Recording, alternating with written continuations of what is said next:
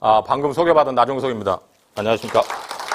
네, 사실 제 생각은 예, 아름답지 않은 그런 모습을 여러분들께 계속 보여드린다는 것이 좀 고역이 될 것 같아서 예, 인사를 하고 마스크를 쓰고 이제 강연을 하려고 했는데 우리 박고영 선생님이 그렇게 하면 안 된다고 그래가지고 어, 그냥 어, 제가 용기를 내서 코로나와의 어떤 투쟁 속에서 죽음을 각오하고 오늘은 에, 여러분들께 민낯으로 어, 강연을 하도록 하겠습니다. 어, 그래서 오늘은 짧은 시간이지만 공자의 충격과 서구 근대 형성, 능력주의와 서구 근대와의 관련된 이야기를 두서없이 예, 강연을 식으로 하도록 하겠습니다. 그리고 아까 뭐 이미 반복되는 이야기인데 사실 저는 학교에서도 강연할 때나 강의할 때 여태까지 한 번도 PPT를 사용해 본 적이 없습니다. 물론 정말 정확하게 말씀드린다면 한두 번 남들이 제 강연, 강연문을 어, PPT로 만들어서 제가 그걸 보고 한 음, 적은 한 두 번 정도 있습니다만은 어, 저는 어찌됐든 기계치고 어, 또 과학기술 문명을 따라잡으려고 하는 욕망보다는 거기에 너무 음, 이렇게 지나치게 뒤처지지만 않으면 된다.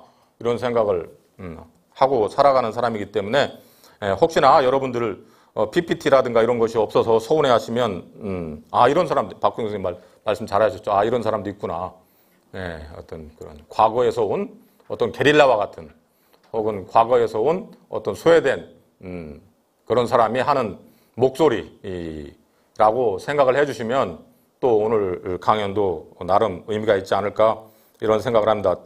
강연 중간중간에 혹시나 요즘은 정치적 올바름에 대한 어떤 각성들이 너무나 어, 강해져 가지고 어, 학문적인 어떤 토론의 장이 또 그런 정치적 올바름에 의해서 조금 이렇게 뭐랄까 아유 위축된다고 할까요? 혹은 약간의 그 음, 제약되는 측면도 없지 않아 있는 것 같습니다. 이건 말씀드리는 것은 오늘 서구 근대의 형성에서 뭐 음, 해겔도 마찬가지 해겔이 그렇게 얘기하지만 어, 서구 기독교 문명이 갖고 있는 굉장히 큰 영향 같은 것들이 있는데 오늘은 그런 영향과는 다른 어떤 그런 흐름들이 있다라고 하는 것 그런 의미에서 혹시나 어떤 종교적인 음, 부분 음, 독실한 어떤 기독교 신앙을 갖고 있는 분들이 물론 제가 뭐 그것을 어, 뭐 강하게 비판할 수도 없는 노릇이고요. 또 그렇진 않겠습니다만 그래도 어, 그런 신앙심 깊은 분들이 혹시나 어, 제 발언에 대해서 어, 이렇게 받을 수 있는 약간 낯설음 같은 것이 있다면 에, 제 의도가 아니다라고 하는 것을 분명히 예, 말씀드려 봅니다. 물론 뭐 강연에서 그런 게 많이 나올 거라고 예상하지는 않습니다만 그래도 혹시나 사람이 이렇게 강연이 흘러가다 보면 뭐 어디로 흘러갈지 모르기 때문에 예, 그렇게 말씀드려 봅니다. 예. 그렇게 예, 얘기하고요. 어, 오늘 그러면 제가 여러분들에게 드린 자료집을 중심으로 해서 강연을 한번 해보도록 하겠습니다. 예, 그러면 본격적으로 오늘 그냥 제 기억에 기대어 가지고 좀 자유로운 형식으로 어, 얘기를 하, 도록 하겠습니다. 물론 어, 이 자료집의 순서에 따라서 어, 얘기를 할 수 있을 것 같은데요.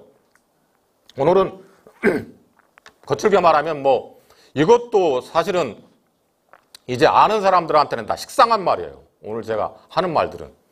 왜냐하면 오늘 제가 하는 말은 거칠게 얘기하면 어, 서구 중심주의에 음, 대한 비판적 성찰이 왜 필요한지라고 하는 것. 그래서 서구 중심주의에서 어떤 타자화된 그런 목소리, 예를 들면 뒤에 나오겠습니다만 뭐 대표적으로는 인종이라든가 젠더라든가 어떤 계급적으로 사회가 불리한 어떤 사람들 아니면 자연 어, 그 다음에 이제 오늘 주로 얘기할 어떤 비서구 사회의 문명, 음, 야만의 문명으로 낙인된 그런 동아시아, 중국 문명, 어, 이런 음, 것들을 이제 대주시키는 그런 의미에서 서양의 근대 문명이 인류 문명사의 정점에 이르렀고 그 이외의 모든 음, 문명은 사실은 미성숙하고 어, 서구 근대 문명의 세례를 받지 않으면 근대화가 될 수 없는 그런 유아적인 미성숙한 혹은 또, 예, 뭐 쉽게 얘기하면 야만, 음, 내 지역에 살아가는 어떤 사람들이다. 이렇게 생각하는 그런 서구 중심주의적 사유 방식이 갖고 있는 한계나 이런 것들은 사실 오늘날 꽤 많은 사람들에게 알려져 있습니다. 그런 의미에서 오늘 제가 하는 말은 이렇게 또 아주 뭐 신선하거나 음, 새로운 말은 아니에요. 그런 의미에서 새로운 말은 사실 여기 이 책에 있습니다.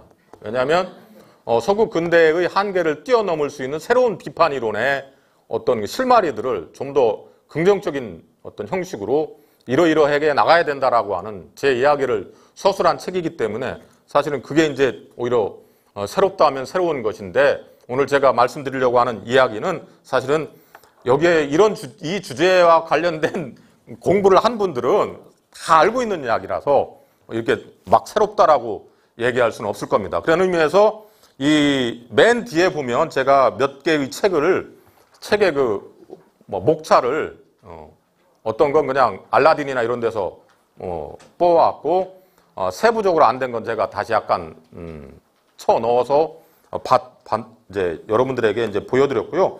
또 그거 보면 알, 아시겠습니다만 서양 근대의 계몽주의 혹은 서양 근대의 형성에 중국 공자가 끼친 영향에 대한 선행 연구를 보면은 사실은 거의 이제 분량의 많고 적음이라든가 뭐 이런 서술의 어떤 간략함 음, 이런 것들을 차치하고 나, 나면 여기에 제가 몇 권의 책을 소개해드렸듯이 상당히 유사한 걸 볼 수 있어요.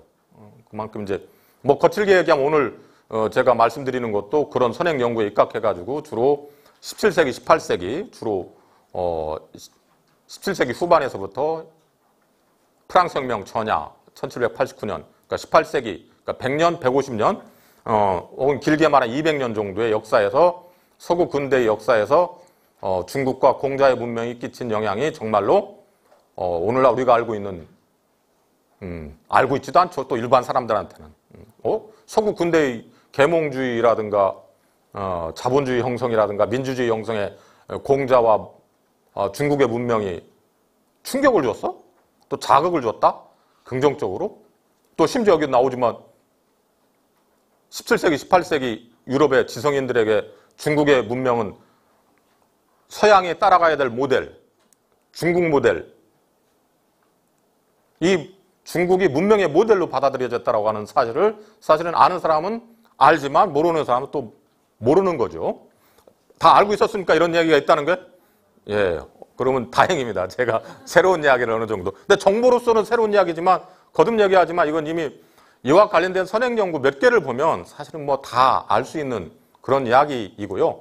오늘 물론 제가 강연 중에서 나름대로 제 고민이라든가 이런 것을 조금 뭐 음, 뉘앙스를 가지고 접근하는 것은 없지 않아 있습니다만 어, 그런 것까지 제가 강조할 필요는 없겠습니다. 하여간 그래서 맨 마지막에 있는 자료를 보시면 음, 아 서양의 근대 형성, 계몽주의 형성 좁게 보면 음, 그런 서양 근대의 정치 사회 체제, 사상 형성에 중국과 아, 중국과 공자의 어떤 유교 사상 전통이 굉장히 정말 구성적인 학술적인 용어로 하면 본질적인 그러니까 부차적이거나 주변적인 요소가 아니라 정말로 근본적인 그런 충격을 주었다, 영향을 주었다라고 하는 것이 오늘 우리가 아, 한번 음, 알아보려고 하는 그런 기본 줄거리인 것 같습니다.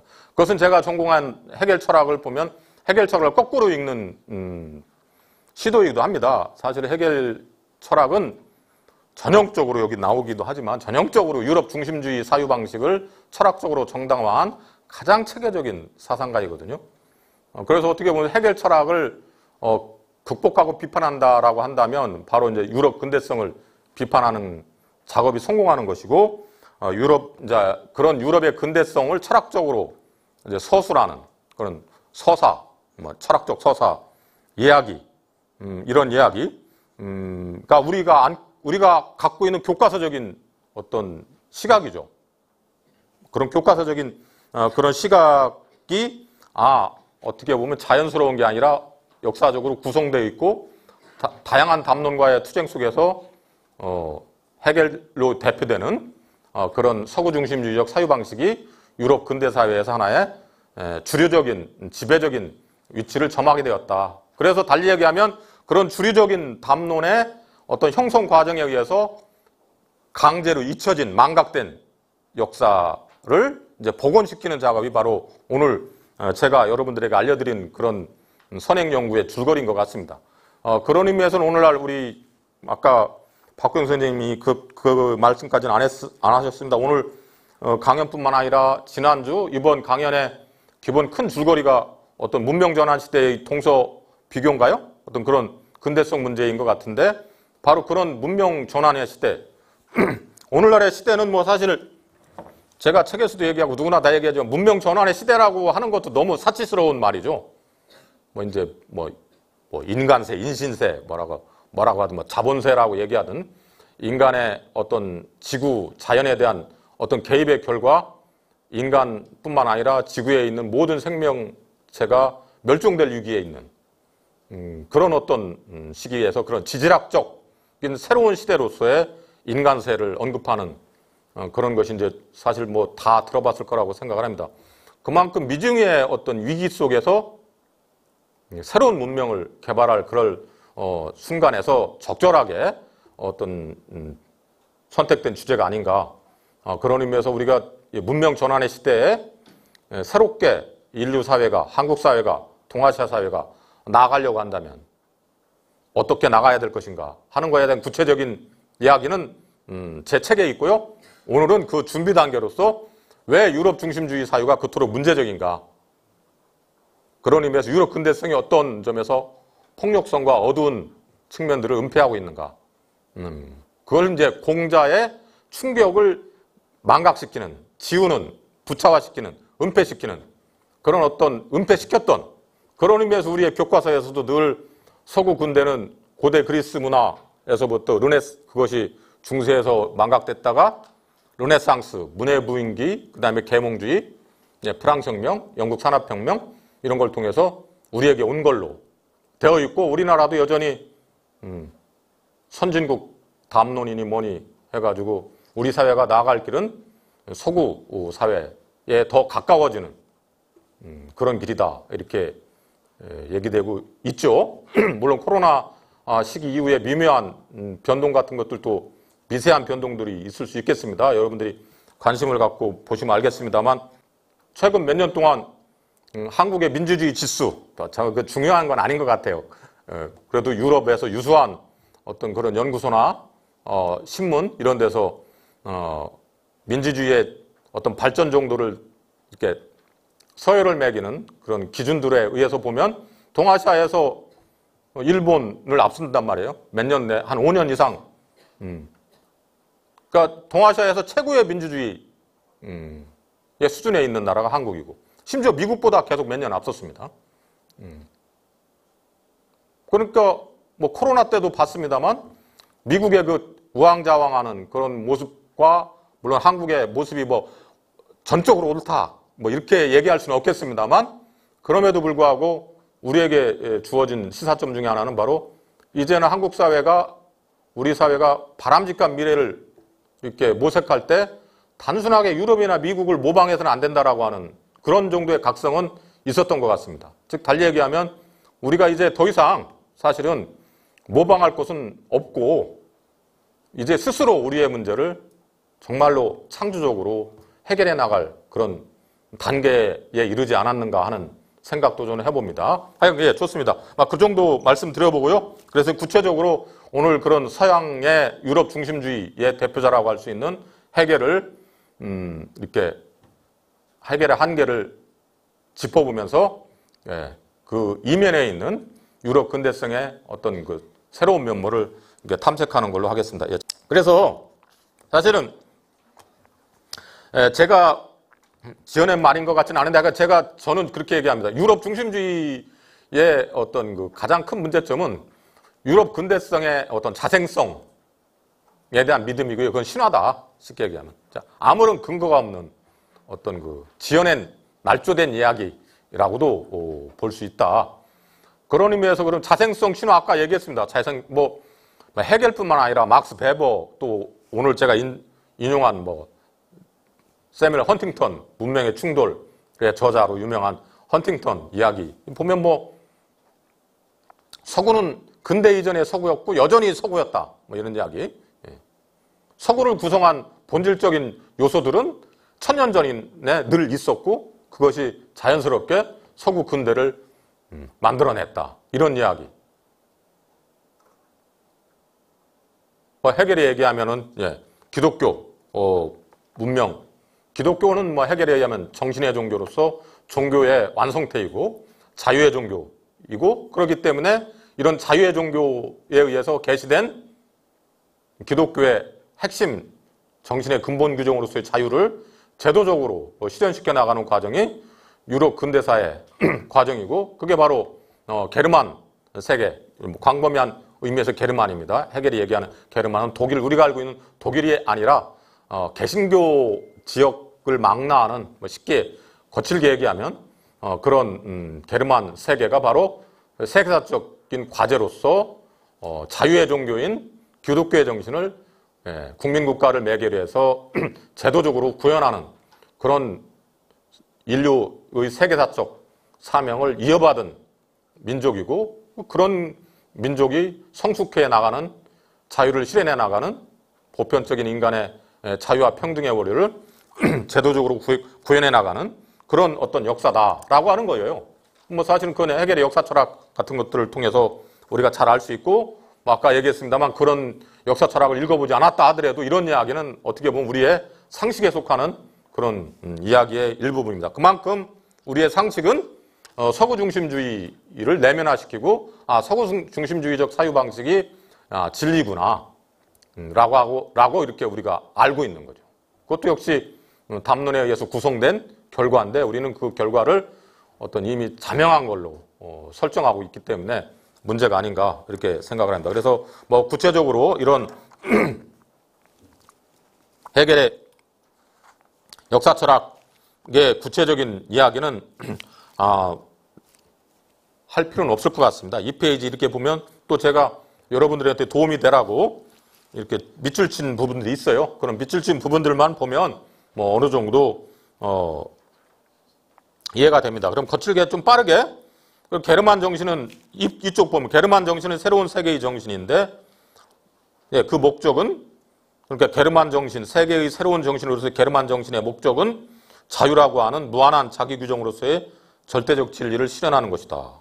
그리고 이 자유라고 하는 건 예, 절대적 형식 자체를 내용으로 삼는 자유다. 자유를 예, 궁극 목적으로 삼는 자유다. 뭐 이런 얘기라고 할 수 있고 그런 게르만 민족의 사명은 바로 기독교 원리, 자유의 종교인 기독교 원리, 정신의 종교인 기독교 원리를 예, 실현하는 담당자다. 이렇게 얘기하고 있습니다. 그러니까 이런 식의 생각을 하고 있기 때문에 예, 세계사를 설명할 때 보면 예, 이 페이지 그 밑에 단락중도 보면 참 재밌는 얘기가 나오죠. 게르만 민족에게 외부 문명과의 접촉과 만남은 아무런 본질적인 의미를 갖고 있지 않다. 이념은 기독교에서 그 어떤 불만족스러운 것도 발견할 수 없다.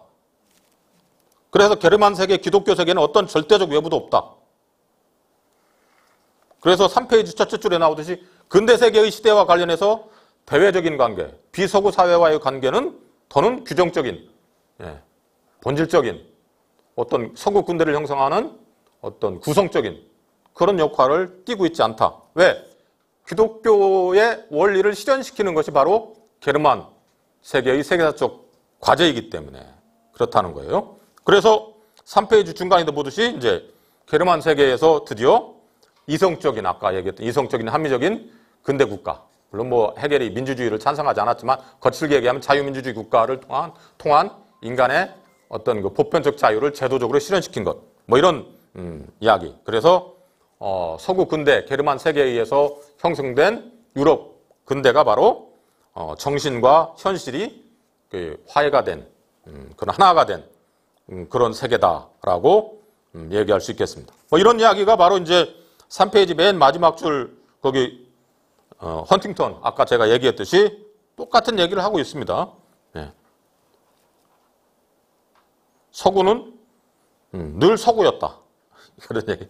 참 정말 서구를 다른 문명들과 구분짓는 중요한 특징들은 서구의 근대화 이전에도 벌써 존재하고 있었다. 그 그리스 로마의 유산, 카톨릭과 프로테스탄트, 뭐 종교적 권능과 세속적 권리의 분리, 법치, 사회적 다원주의, 개인주의, 대의제 이것은 적어도 서구 문명에서 본질적으로 유지 되고 있는 정수의 일부분에 해당된다. 기타 등등. 뭐 이렇게 얘기를 하고 있습니다. 예.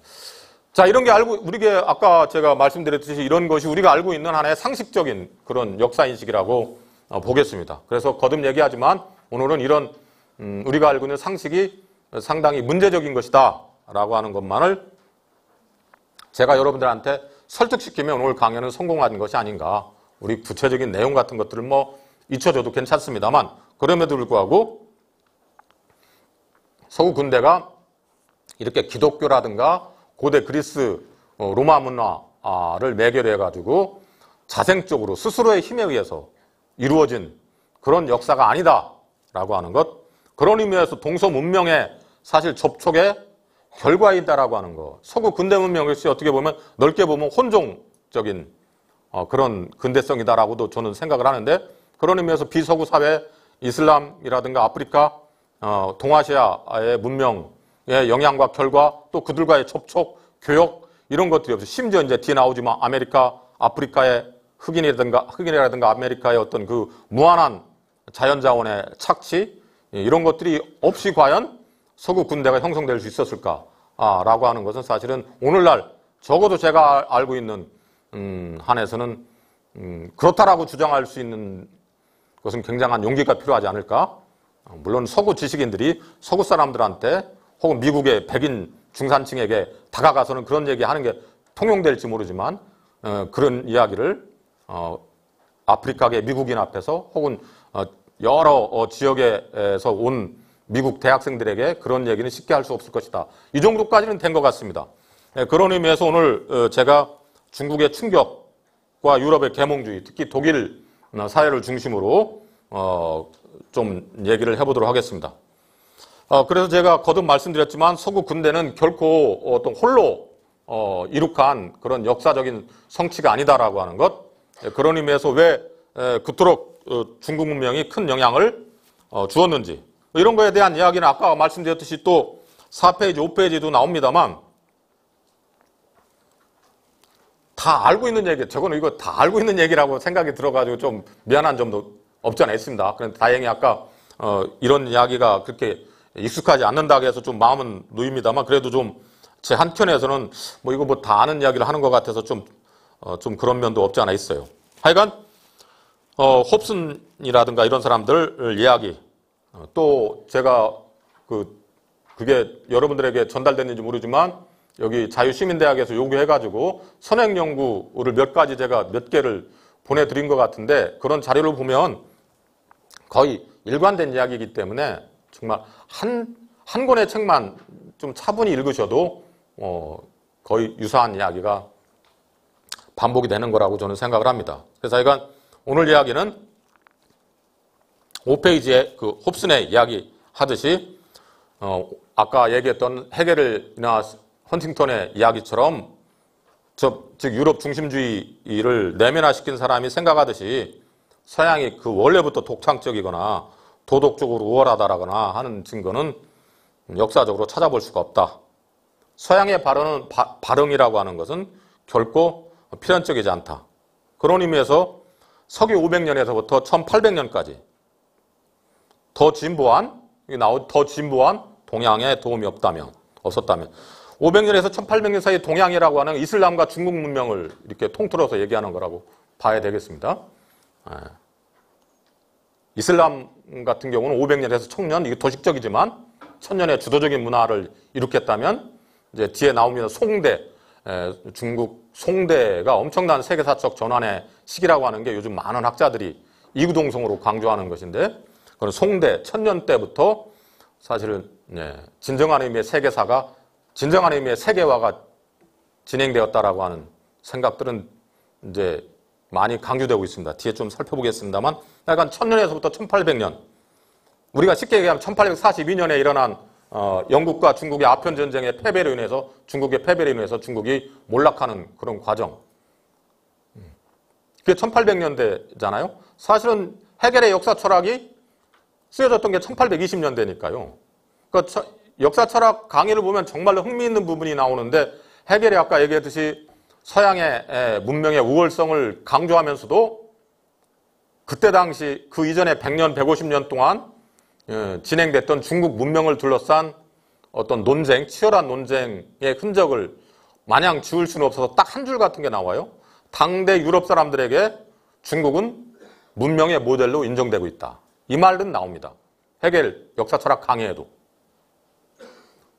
그러니까 1820년경에도 바로 그런 얘기가 언급될 정도의 이제 이야기니까 사실은 중첩되고 있습니다, 지금. 그러니까 많은 사람들이 서양과 동양, 특히 좁게 얘기하면 영국과 중국의 어떤 거대한 전환, 그러니까 어떤 그 우열, 우열이 정말로 서구의 우월로 판가름 나기 시작한 것은 1800년대를 기점으로 한 것이다. 라고 하는 게 이제 많은 사람들의 이야기고요. 근데 더 흥미있는 것은 바로 오늘날 다시 얘기되고 있는 게 21세기는 동아시아의 세계다라고 다 얘기하지 않습니까? 예, 중국의 부상이죠. 중국의 부상입니다. 근데 흥미있는 건 다 아는 얘기인지 모르지만 서양의 학자들의 중국의 부상을 얘기하는 거 보면은 다 리를 써요. 리라이즈라고. 중국의 부상은 최근에 일어난 이례적인 사건이 아니라는 거죠. 중국의 재부상이에요. 그러니까 넓게 보면 2000년, 3000년 역사에서 중국과 동아시아는 인류 문명을 주도하는 문명의 일원이었습니다. 그게 이제 우리는 많이 그런 것을 잊었고 서양의 어떤 유럽 중심주의적 사유 방식 우리가 배우는 게 다 교과서에서 그렇지 않습니까? 그, 아, 여러분들 중에 초등학교, 중학교, 아까, 아, 맞아. 보내온 자료를 보니까 선생님들 꽤 되시는 것 같은데. 맞습니까? 예, 예. 아, 정말, 예, 그 까먹을 뻔 했네. 선생님들 이, 이런, 예, 이걸 가져가서 꼭 한번 교과서하고 대조해 보면서, 어, 이렇게 역사를 가르치시거나 이렇게 할 때 꼭 첨언을 해주시기 바랍니다. 서양이 원래부터 잘났다거나 서양이 원래부터 잘 나가도록 운명주어 있다거나 하는 건 아니고 음, 그건 문명은 돌고 도는 것이다. 서로 어, 영향을 주고받고 어, 그런데 우리가 공교롭게도 아까 제가 얘기했듯이 1800년대를 기점으로 해서 동아시아가 이제 서양 유럽에 비해서 경제적으로나든가 아, 이런 측면에서 뒤떨어지기 시작했다라고 하는 건 분명한 사실이죠. 부인할 수 없습니다. 없을 겁니다. 그것이 이제 그런데 그건 많은 사람들이 얘기하듯이 유럽이 바로 중국적인 세계 질서의 주변부에서 영국 같은 그런 주변부에서 주변부의 이점을 살려가지고 그 새롭게 세계를 리드할 수 있는 문명으로 어, 탄생한 것이고요. 그것이 이제 중국의 재부상으로 인해서 아시아라든가 한국이 정말 21세기의 새로운 인류 문명의 어떤 전환의 빛을 제공해 줄 수 있을지 없을지 이건 저도 뭐 간, 어, 가늠할 수는 없는 것이고요. 꼭 그래야 된다라고 저는 생각하는 것도 아니에요. 음, 다만 음, 그런 이야기 속에 담겨져 있는 뜻들이 있다면 어떤 뜻일까 하는 걸 좀 생각 새겨보는 것도 중요하지 않을까 이렇게 말씀 말씀드려보는 거고요. 그래서 공교롭게도 우리가 그런 어떤 문명 대전환의 시기, 유럽이 예, 어떤 주도하는 그런 시기에 그런 시기를 정당화했던 철학이라든가 사상이라든가 문학이라든가 이런 것들을 주로 접하면서 자라왔지만 이제는 그 시기가 어느 정도 어, 종말을 맞기 시작하고 있다라고 하는 건 아까 생태위기만을 보더라도 음, 뭐 자명한 것 같습니다. 민주주의의 위기는 말할 것도 없고요. 생태 위기라고 하는 건 뭐 간단하게 얘기하면 소급 근대 문명, 과학기술 문명 플러스 자본주의 세계 체제가 자연을 무진장하게 착취한 결과라고 얘기할 수 있지 않겠습니까? 그걸 통해서 우리가 얼마나 많은 물질적 번영과 뭐 이런 상유를 했든 안 했든 그걸 떠나서 예, 오늘날 인류 사회가 당면하고 있는 가장 커다란 위기 저는 뭐 생명 생태 위기라고 생각하는데 그 생태 위기는 바로 해겔이 얘기한 바 기독교 문명의 어떤 자유라고 하는 것을 실현시키는 그런 과정이 성공의, 역, 성공의 역사였을지 모르지만 엄청난 파멸과 파괴의 역사이기도 했다. 그 파괴의 귀결은 인류만이 아니라 지구에 있는 모든 생명체를 폭파시킬 정도의 그런 엄청난 음, 위험성을 내포하고 있었다. 그게 이제 우리 세대는 눈에 보이지 않습니까? 근데 안타깝게도 해겔이라든가 이런 사람들의 책을 보면 그런 거에 대한 감수성은 전혀 찾아볼 수가 없죠. 그래서 저는 넓게 보면 칸트나 해겔이나 유럽 근대를 형성하는데 지대한 영향을 주었던 그런 계몽주의, 물론 자기 독자적인 의미의 계몽주의, 이 역시 예, 우리 인류의 문명을 위기에 몰고 간 사조의 사조의 하나고요. 바로 이런 사조가 바로 어, 오늘날 인류 사회가 안고 있는 위기에 엄청난 책임을 음, 떠안고 있다라고 저는 생각을 하고 있습니다. 예, 그런 의미에서 한번 음, 곱씹어볼 만한 근대 문명의 어두운 면을 어, 곱씹어볼 만한 화, 화두의 하나로서 이제 서구 근대의 그 계몽주의의 어떤 변질 이런 과정을 한번 중국을 매개로 해서 살펴보는 것도 의미가 있지 않을까. 그래서 어 그래서 하여간 이 계몽주의 시대 이 계몽주의라고 하는 건 뭐 사실은 뒤에 마지막에 뭐 칸트의 제가 계몽이란 무엇인가에 대한 어 주장을 통해서 간단하게 말씀드렸지만 계몽이라고 하는 건 말 그대로 어두운 것들을 밝게 비추는 음, 그런 행위이고 그것을 주도하는 힘은 이성이죠. 이성의 빛을 통해서 인간의 어두운 면 같은 것을 밝혀가지고 명덕이나 명덕, 그죠?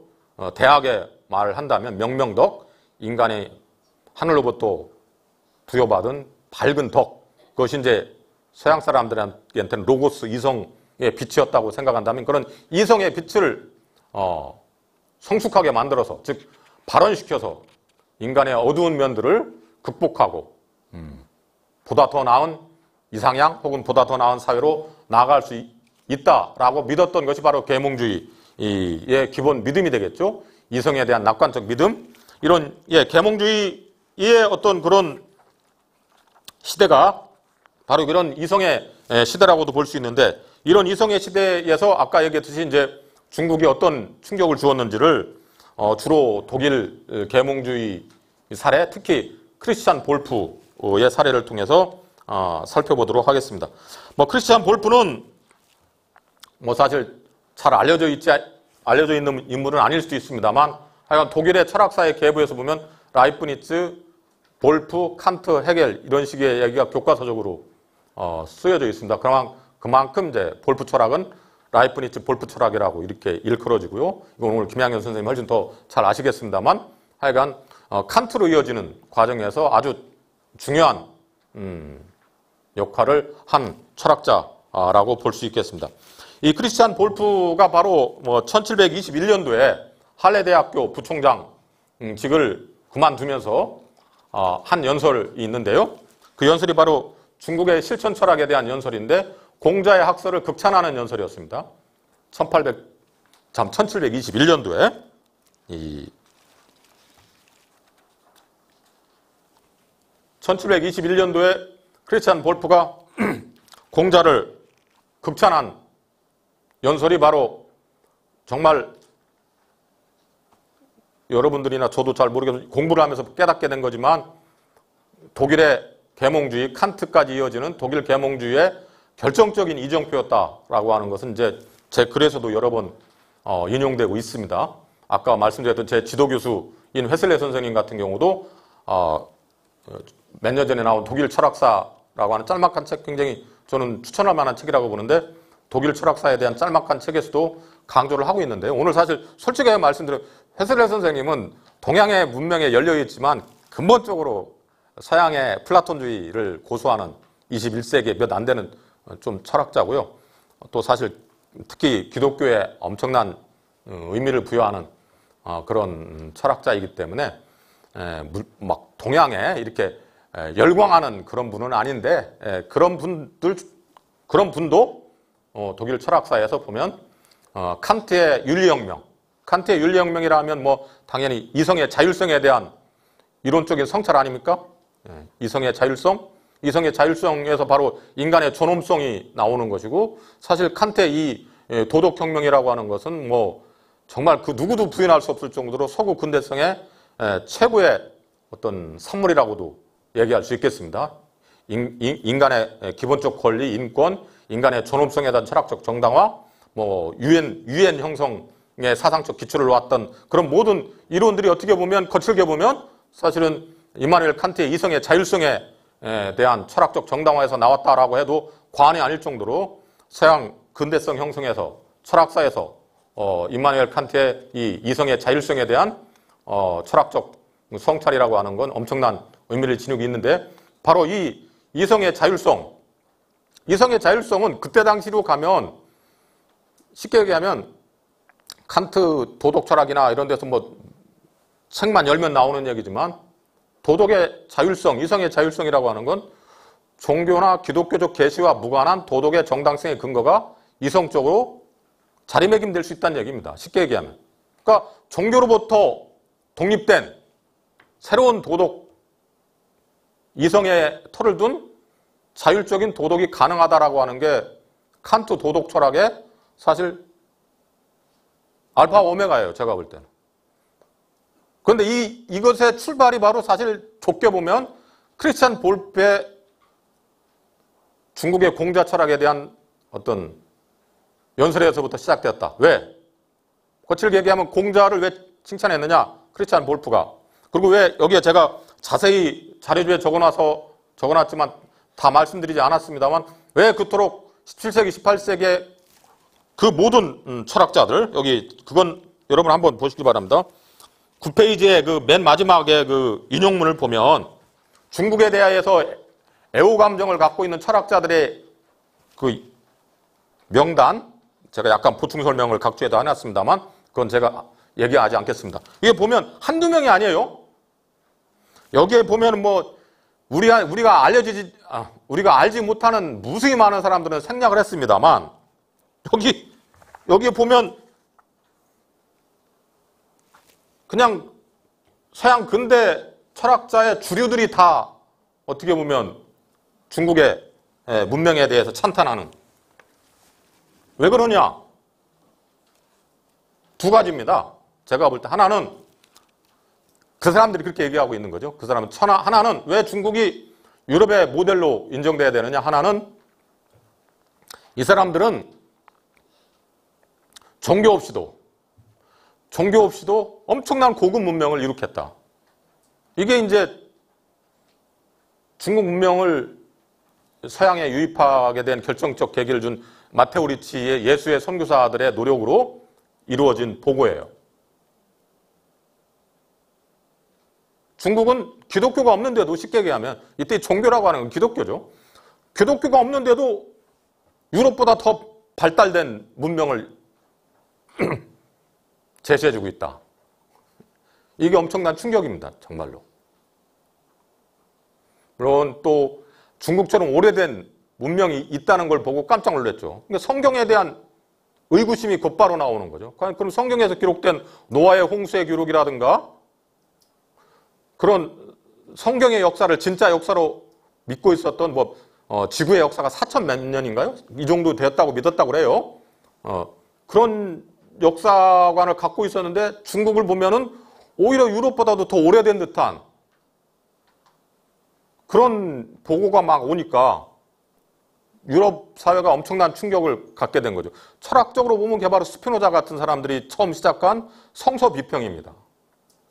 그래서 이 중국의 문명의 충격으로 인해서 아까 얘기했던 어떤 종교로부터 자유로운 도덕의 출현, 종교로부터 자유로운 정치 사회 체제의 출현의 가능성 뿐만 아니라 좁게 보면 성서에 대한 텍스트 비판, 해석학적 비판 이런 것들도 물론 그것이 다 온전히 중국의 충격으로 환원될 수는 없겠지만 중국의 중국이 가지고 있는 그 역사의 장구성 때문에 엄청나게 이제 논쟁이 증폭되는다 이렇게 예, 볼수 있겠습니다. 그런 걸 통해서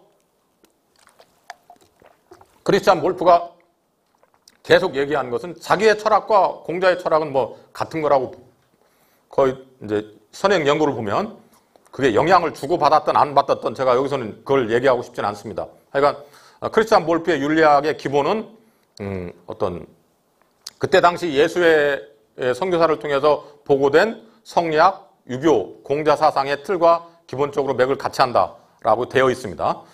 그래서 하여간 크리스찬 볼프가 공자를 중국 문명을 어, 중국 문명을 이렇게 칭찬했던 이유는 바로 아까 얘기했듯이 기독교나 종교로부터 자유로운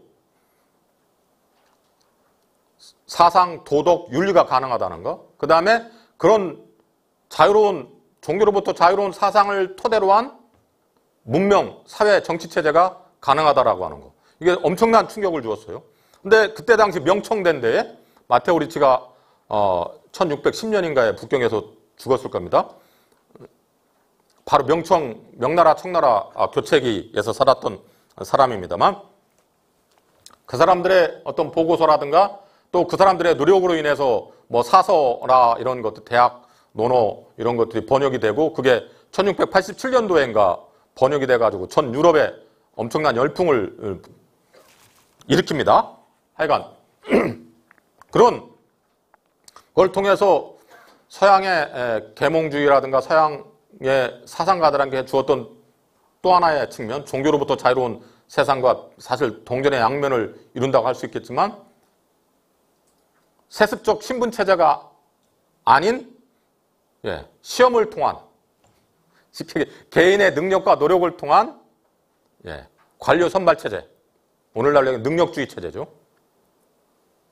개인의 노력과 근면을 통해서 사회적 지위가 성취되고 있다라고 하는 거. 세습적 귀족 체제가 아니라 이거 정말로 중요한 지점이죠. 여기서 제가 오늘 이 얘기는 하지 않겠습니다. 그래 많은 많은 책을 통해서 보듯이 조선 사회를 중세 사회라고 합니다. 중세 사회. 저는 그 도식은 정말 문제적이라고 생각합니다. 여러분들 아까 다산 얘기 나왔 다산 하면 실학 실학이라고 되어 있죠.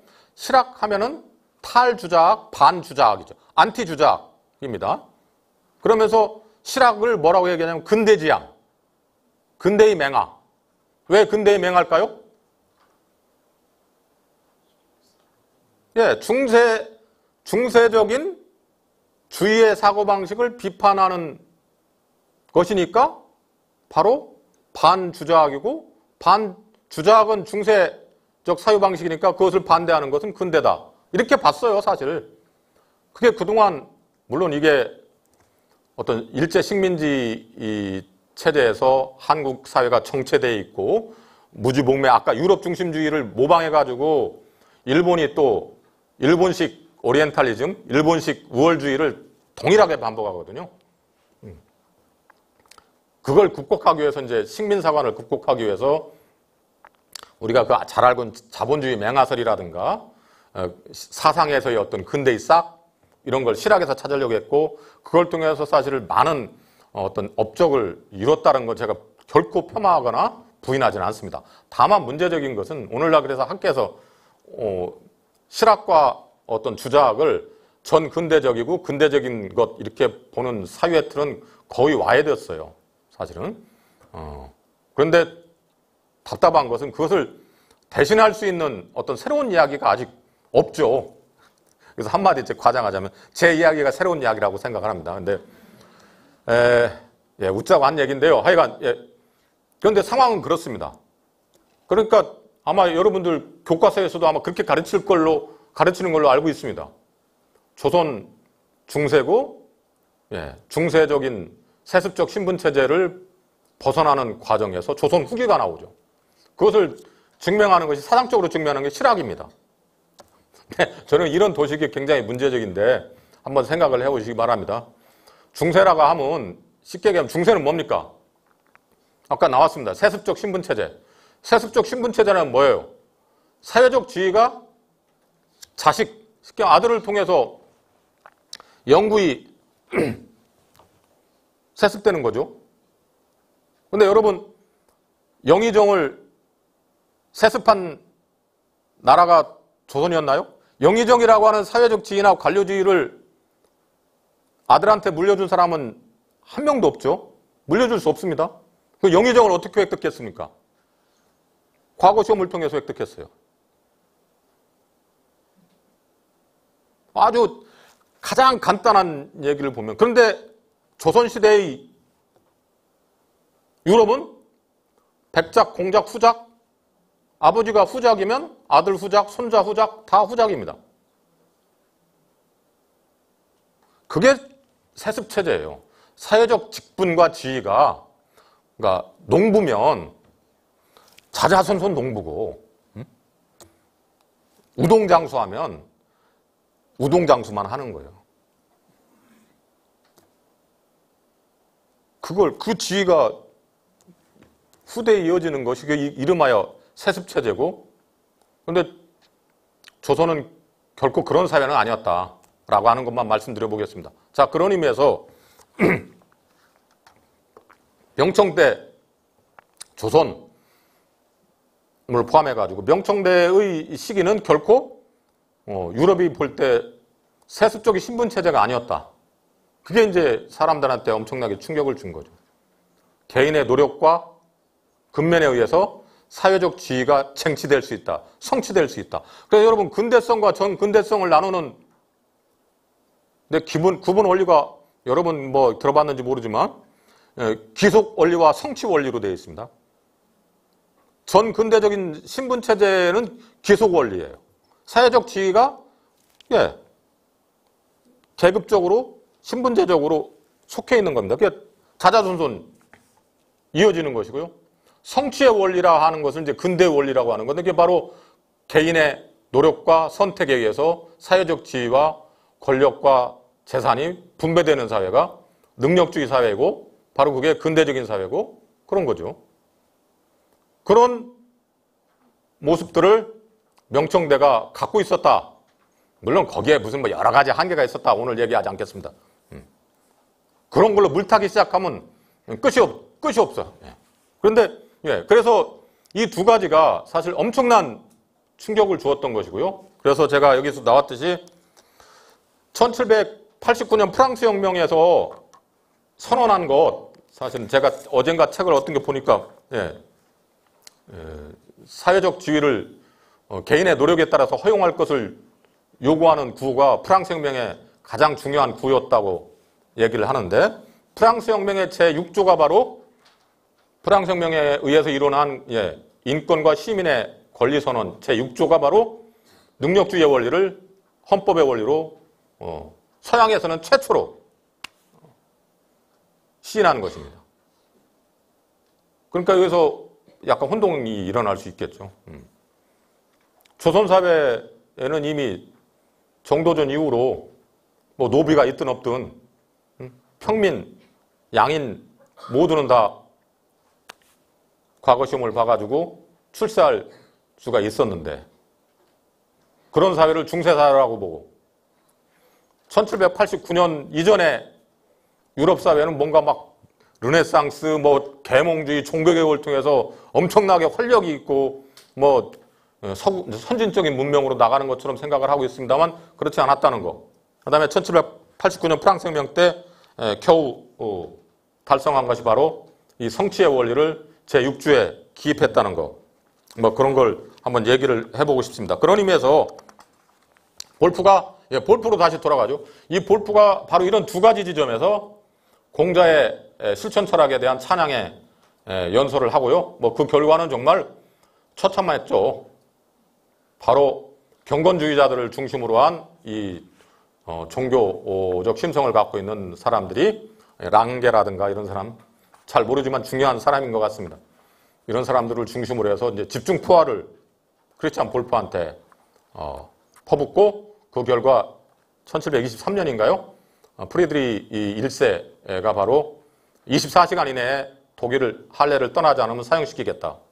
해가지고 이제 어, 어려움을 겪게 되는 것인데 근데 1740년에 다시 할레로 돌아옵니다. 프리드리히 대왕 음, 2세에 의해서 그때 에, 또 프랑스 계몽주의의 에, 위대한 또 지도자 중에 하나인 볼테르가 바로 크리스찬 몰프를 끝까지 옹호했죠.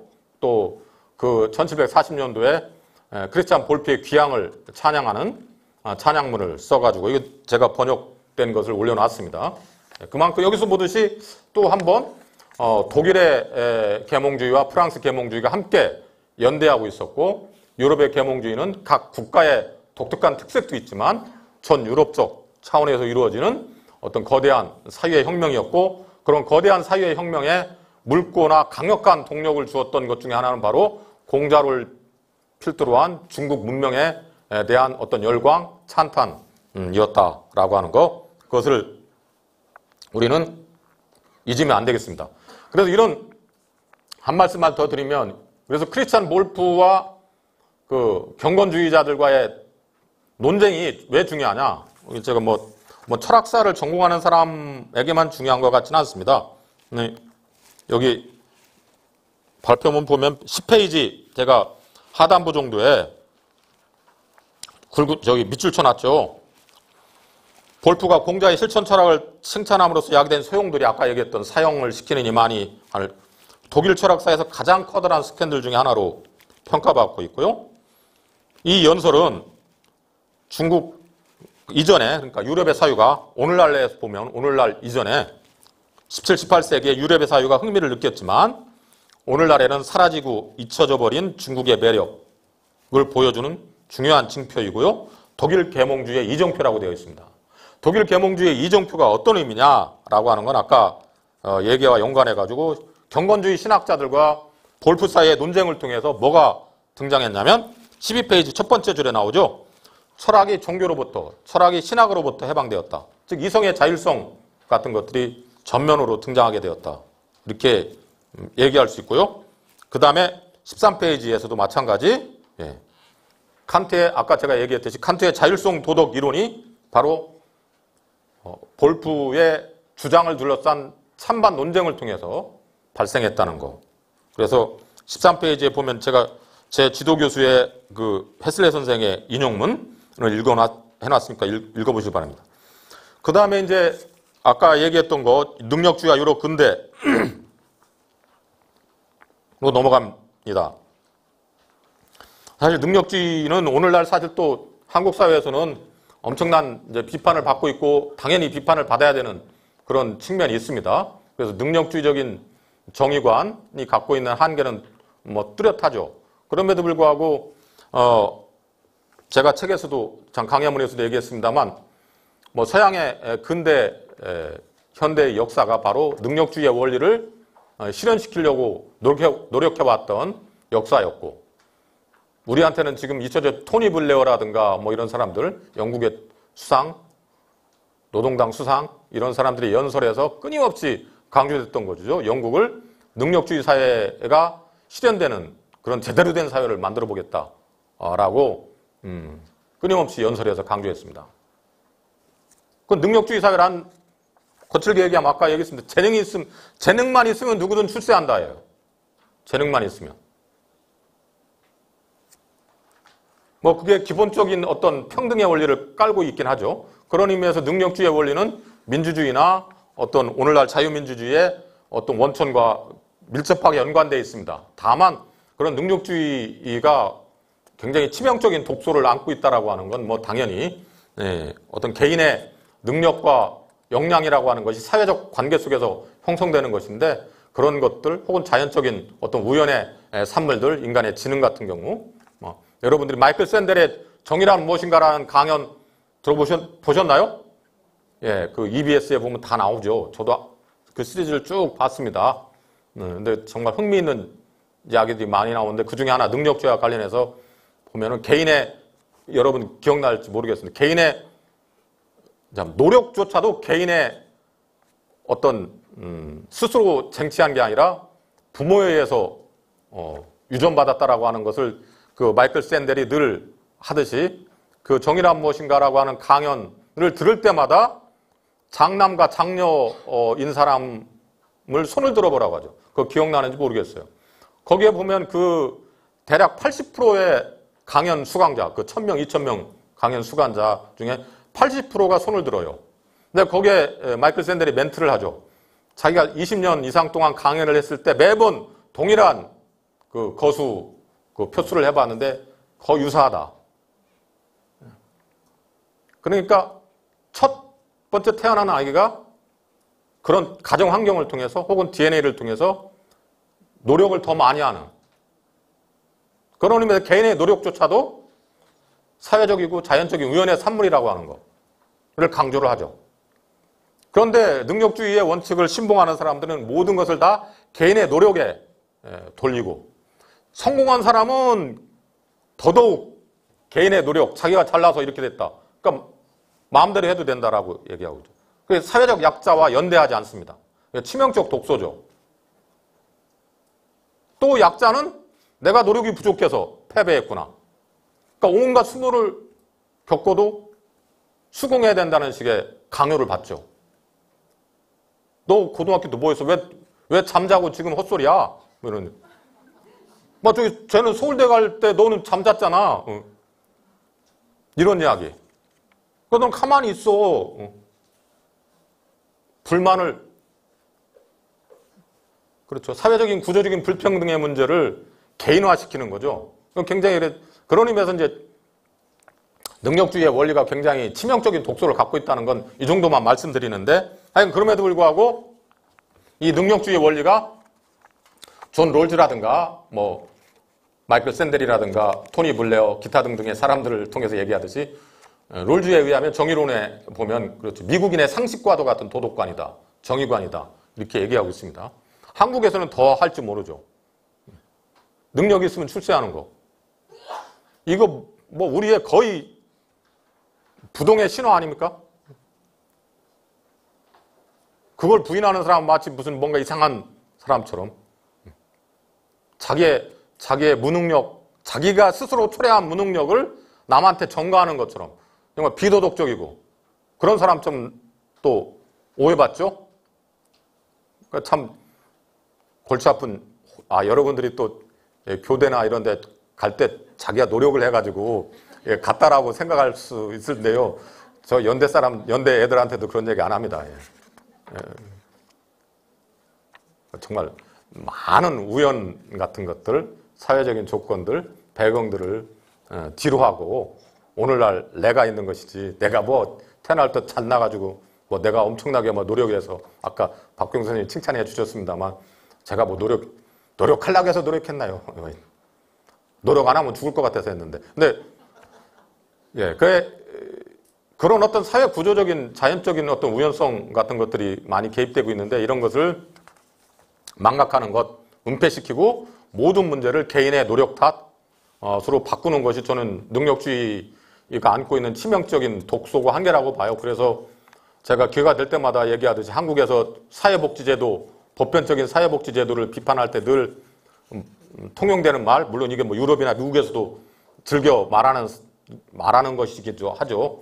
복지를 비판하는 사람들을, 예. 어떤 개인을 나태하게 만들고 게으르게 만들고 타인에게 국가에게 의존성을 키우는 노예적 근성을 키우는 거라고 얘기하는 것 정말 저는 그건 폭력적인 언어라고 봅니다. 그건 아까도 얘기했습니다만 개인의 노력이 갖고 있는 요소를 전적으로 저는 부인하자는 게 아니라 그 개인의 노력으로 환원되지 않는 음, 여러 가지 사회 구조적인 자연적인 그런 것들. 그래서 한 가지만 더 기억을 해서 말씀드리면 마이클 샌델 얘기를 제가 각색을 해서 얘기합니다만 뭐 그 유명한 농구 농구 스타 뭐지 마이클 조던 마이클 샌델도 그런 비슷한 얘기 하지 않습니까?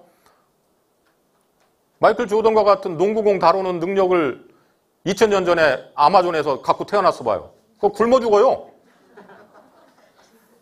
그 능력 아무 의미도 없는 능력입니다. 쓸데없는 능력 아닙니까? 자본주의 사회에서 스포츠가 하나의 상업으로 되어 있는 사회에서 태어났기 때문에 마이클 조단이 갖고 있었던 그 천부적인 어떤 공 다루는 능력이 있었을 줄은 몰라요. 그런 천부적 재능이 꽃피었던 것이지. 응? 그런 재능을 아무리 갖고 있어 뭐합니까? 그 사회적인 배경이나 조건이 다르다고 한다면.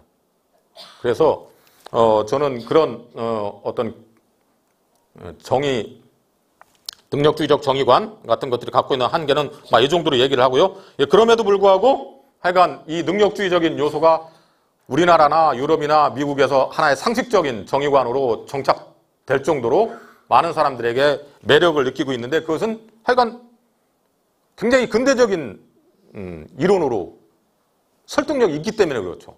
일정 정도. 그런데 제가 말씀드리려고 했던 건 그런 성취의 능력이라든가 이런 것들을 유럽 유럽보다도 훨씬 더 이런 시기에 어, 동아시아는 그것을 긍정했을 뿐만 아니라 더 중요한 것은 사회 제도적으로 과거제 시험을 통해서 최고의 관리들을 선발하는 그런 사회였고 그래서 사회적 지위가 굉장히 유동적이었다. 네, 그리고 어떤 연구를 보면은 뭐 1960년대, 70년대 미국 사회의 사회적 이동의 어떤 분포보다도 사회적 이동의 가능성보다도 명청대의 사회적 이동의 폭이 넓었다고 하는 그런 연구들이 꽤 있습니다. 그러니까 사회적 이동성을 보면 예, 명청대가 엄청난 어, 하층에서 상층으로 올라갈 수 있는 그런 개방적 사회, 예, 개방사회. 우리 굉장히 좋아하죠, 개방사회. 개방사회는 민주주의 사회고 자유로운 사회라고 일컬어져 있습니다. 예. 그런 사회의 면모를 갖고 있었다라고 얘기를 어, 하고 있습니다. 그런 의미에서 이런 어떤 과거 제도를 통해서 어, 능력주의적인 원리를 사회 정치적으로 이렇게 뿌리를 내리게 했던 명나라 청나라의 그런 문물을 보고 서양 근대의 음, 계몽주의가 엄청난 충격과 영향을 받아서 어, 서양 나름의 어떤 근대의 세계를 형성할 수 있었다라고 하는 것이 이제 제가 오늘 얘기하려고 했던 앞부분의 이야기고요. 21, 21쪽 이하는 짤막하게 말씀 드려보겠습니다. 이것도 다 알고 있는 이야기인데 두 가지인 것 같습니다. 하나는 근세 혹은 근대 중국, 명청대의 중국과 유럽의 자본주의 형성에 관련된 얘기인데요. 이것도 사실 뭐 아는 사람들은 다 알고 있는 이야기입니다. 아까도 잠깐 얘기했습니다만 아메리카의 발견. 아메리카의 발견을 사실 이런 얘기를 하다 보면 제가 역사학자가 아니라서 약간 마음속으로 저어되는 면도 있고 특히 이렇게 촬영을 통해서 유튜브로 방영된다니까 더 걱정되는데 하여간 제가 아는 바가 틀릴 수도 있지만 기본적으로 제가 아는 건 그렇습니다. 여러분 한번 생각해 보십시오. 왜 콜럼버스 같은 사람이 대서양 그 엄청난 대서양을 건너서 항해를 했을까요? 그리고 왜 아메리카 대륙을 발견하고 첫 발견은 아닙니다. 요즘 다 얘기하고 있습니다만 유럽 사람으로서 처음으로 혹은 아마 예, 바이킹족이 이미 아메리카를 갔다는 얘기도 있어요. 하여간 유럽 사람들이 알기에 최초로 어, 그 아메리카 대륙을 발견했을 때 왜 그 원주민들을 인디언으로 불렀을까요? 예, 인도와 동양으로 나가려고 했던 거예요. 콜럼버스가 지향했던 건 동양으로 가려고 했던 겁니다. 그럼 왜 육지나 요즘 말로 실크로드를 향해서 가지 않고 왜 대성에 모험을 했을까요? 그건 오스만 제국의 등장과 연관되어 있습니다. 오스만 제국의 등장으로 인해서 무역로가 중국이나 인도와의 동양 세계와의 교역로가 막혀가지고 새로운 무역로를 만들어 내기 위한 노력의 하나로서 나온 게 대서양 항해죠. 그럼 왜 목숨 걸고 동양과 문, 교역을 했겠습니까? 동양이 황금의 땅이었기 때문에 그래요. 동양, 동양과의 교역을 통해서 엄청난 물질적 번영을 누리고 있었고 누릴 수 있다라고 믿었기 때문에 그렇습니다. 그 다음에 또 하나 우리가 잊어서는 안 되는 것은 우연히 아메리카 대륙을 발견했을 때 거기에 있었던 엄청난 자원들 그죠? 어, 그 통째로 흘러온 복덩어리죠. 지금 캘리포니아 학파의 유명한 예, 케네스 포메란츠인가요? 대분기. 어, 꼭 읽어보십시오. 뭐 고전적인 이미 고전적인 저서로 정평이 나 있는데 한국어로도 번역이 돼 있습니다. 하여간 예, 왜 유럽이 자본주의 근대 형성에 예, 동양에 비해서 앞설 수 있었을까 하는 것을 따질 때 예, 여러 가지 우연적 요소 를 거론하면서 그 중에 하나 바로 예, 아메리카 대륙에서 나온 금 이런 걸 얘기를 하죠. 하여간 그런 정말 그 새로운 우연적인 어떤 아메리카 대륙과의 대륙의 발견 그, 그것이 갖고 있는 엄청난 폭력은 이미 우리가 다 알고 있는 이야기고요. 또 하나 뭐 다 알고 있는 이야기일 수 있어요. 한번 두서없이 얘기를 해보면 그러면 대항해 시대에 배를 항해할 때 뭘 의존했습니까? 나침판입니다. 맞습니다. 나침판이 어디서 나왔어요? 예, 중국에서 나왔어요. 프랜시스 베이컨이 유럽 근대 문명을 형성하는 가장 중요한 세 가지 기술을 얘기하는데 바로 나침판하고 인쇄술하고 화약을 얘기하죠. 이 인쇄술, 나침판, 나침판, 화약 이 세 개의 근원지가 중국이라는 얘기를 프랑스 베이컨 하진 안 했습니다. 잘 몰랐던 것 같은데 우린 다 알고 있지 않습니까? 지금 다? 이 세 개가 다 중국에서 나왔다는 거? 이런 점에서 우리가 문명은 서로 돌고 돈다. 예, 서로 뭐 해겔이 얘기하듯이 헌팅턴이 얘기하듯이 서양은 뭐 천년 전부터 이천 전부터 서양이었고 이런 식의 이야기는 좀 낯이 부끄러워가지고 이제 오늘날 하면 안 되는데 예, 여전히 그것을 이제 진리로 믿고 있는 사람들이 많이 있다는 거. 예, 그래서 하여간 이 서양의 근대 자본주의 이 형성 과정에서 어 중국 동양의 어떤 영향 같은 것들이 엄청났고 어 그런 의미에서 사실은 뭐 22페이지 이하 계속 나오지만 1400년대부터 1800년대까지 유럽은 오히려 세계 문명의 어떤 주변부였다 라고 하는 거. 그 다음에 오늘 제가 여러 가지 과학사와 관련된 여러 가지를 얘기는 하지 않습니다만 예, 수학이라든가 자연과학의 발달, 그래서 이슬람이라든가 인도라든가 중국의 선행 음, 과학기술 문명이 얼마나 유럽에 큰 영향을 주었는지 하는 것에 대해서는 그냥 엄청난 영향을 주었다. 우리가 아는 것 못지않게 그것만 음, 강조 어, 해봤습니다. 예, 그래서 이런 음, 이야기를 보면 그러면 도대체 우리가 알고 있는 중국과 동아시아는 왜 어째서 그런 유럽 사람들의 어떤 찬탄을 이어내게 예, 불러일으켰느냐 25쪽 이하를 보면 간단하게 나옵니다. 여기서 이건 뭐 제가 아까도 얘기했습니다만 제 전공 분야는 아닙니다만 제가 사실 관심이 있어가지고 이 중국의 충격과 서구 근대 형성은 어, 제가 지금 이제 새로 책 하나를 쓰고 있는 한 챕터의 부분이기도 해요.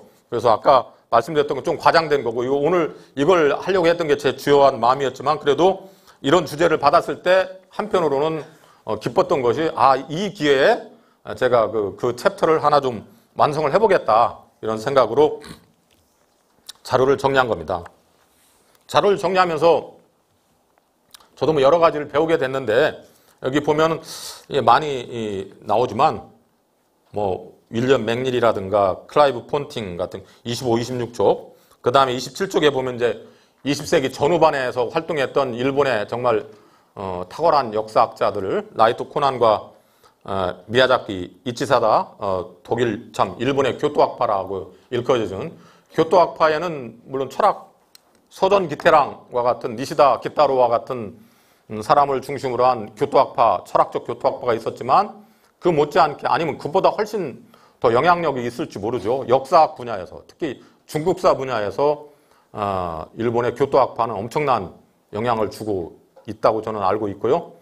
어, 그래서 쉽게 얘기하면, 물론 얘들, 얘들, 이분들도 상당히 서구, 일본 제국주의적인 그런 어떤, 음, 측면을 완전히 벗어나 있지는 않은데 적어도 나이토 코난과 그, 지금 미야자키 이치사다 이야기예요. 이, 사실은 이, 이 클라이브 폰팅이나 윌리엄 맥닐의 이야기는 어떻게 보면 20세기 전반기, 후반기에 활동했던 그 나이토 코난하고 어, 미야자키 이치사다 이야기를 좀 세련화시키는 건데 거칠게 얘기하면 나이토 코난과 미야자키 이치사다에 의하면 중국 역사에서는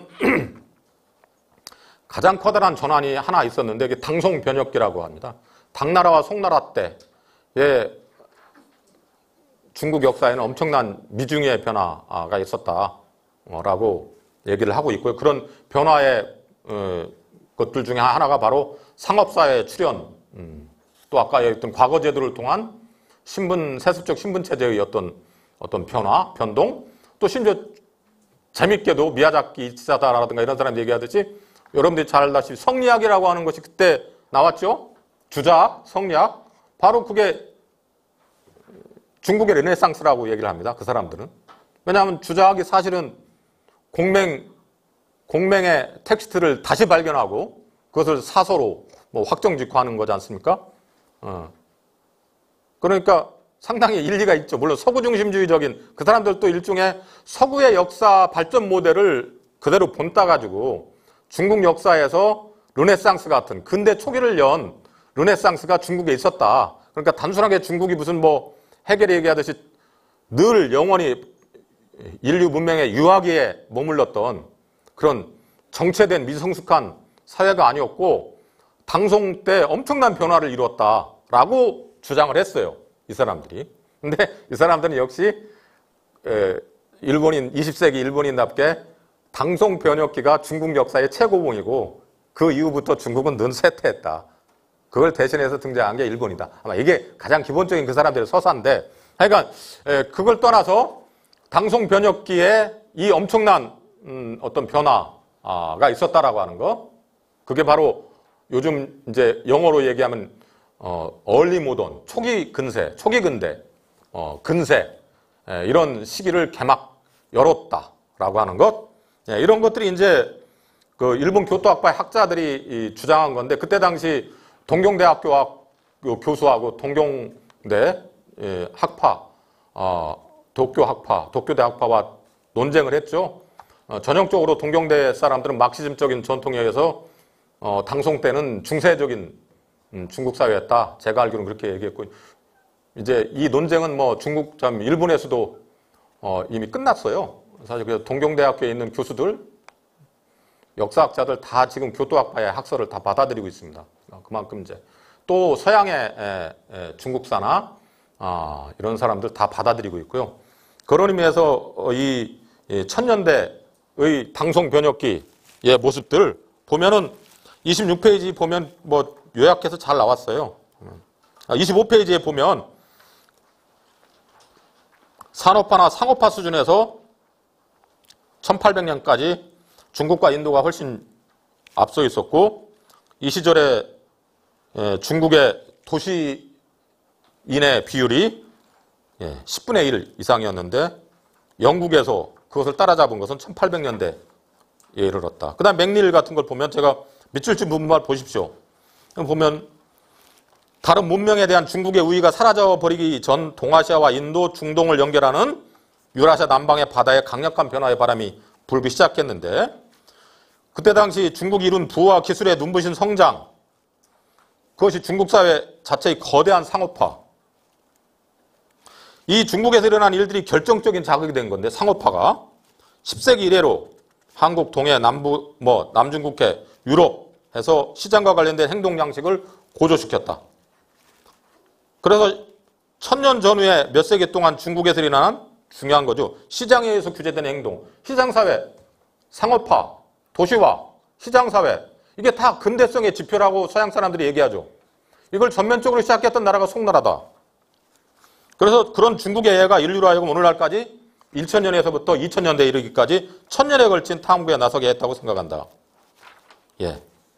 바로 시장사회, 상업사회, 도시사회의 출현이 천년을 기점으로 한 중국, 즉 당송 변혁기에 일어난 거대한 전환이었고 이것이 바로 전 지구의 예, 변화의 바람의 어떤 출발이었다. 그런 의미에서 오늘날 많은 어, global history, 음, 그러니까 전 새로운 형태로서 세계사를 연구하려고 하는 사람들에 의하면 근, 보편적 근대의 출발은 당송 변혁 중, 중국의 송나라에서 시작되고 있다라고 많은 사람들이 얘기를 하고 있습니다. 거듭 얘기하지만 이런 건 사실 제가 공부한 어떤 그 역사적인 경제사학적인 그런 정치 제도사적인 연구기 때문에 제 전문 분야는 아니에요. 그래서 약간의 어떤 사료적인 부족함이라든가 약간의 오류가 있을 수 있지만 제가 접하고 있는 그런 자료라든가 선행 연구에 보면 이런 정도는 어느 정도 상식으로 되어 있지 않나 이렇게 생각을 합니다. 그런 의미에서 마지막 한번 어, 나가는 말을 어, 통해 수업을 정리를 해보도록 하겠습니다. 수업이 아니네요. 아이간 강연을 예 아까 박경 선생님 소개 말에 강연이 재미없으면 뛰쳐나가겠다 했는데 강연이 재미없어도 뛰쳐나갈 수는 없죠. 내가 이제 다행히 거의 마지막에 왔습니다. 너무나 유명한 말인데 칸트의 그 계몽이란 무엇인가? 계몽이란 인간이 자기 자신에게 책임이 있는 미성숙해서 벗어나는 것이다. 뭐 이건데요.